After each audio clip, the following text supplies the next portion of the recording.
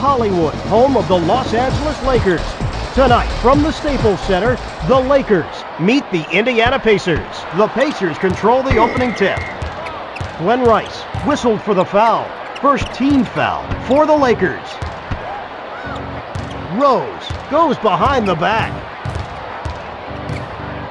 Out of bounds. Ball out of bounds. Lakers ball. Harper passes. He goes with the bounce pass.